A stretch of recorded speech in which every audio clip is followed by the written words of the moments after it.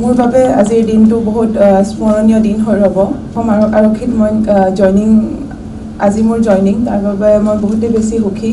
আৰু আজি প্ৰথমতে মই ধন্যবাদ জ্ঞাপন কৰিছোঁ অসম চৰকাৰক মোক আজি এই সন্মানেৰে সন্মানিত কৰাৰ বাবে।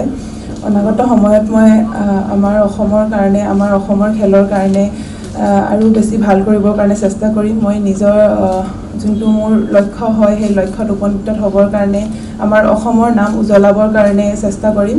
আৰু অসম আৰক্ষীৰো আমাৰ পুলিচৰো বহুত প্লেয়াৰ আছে।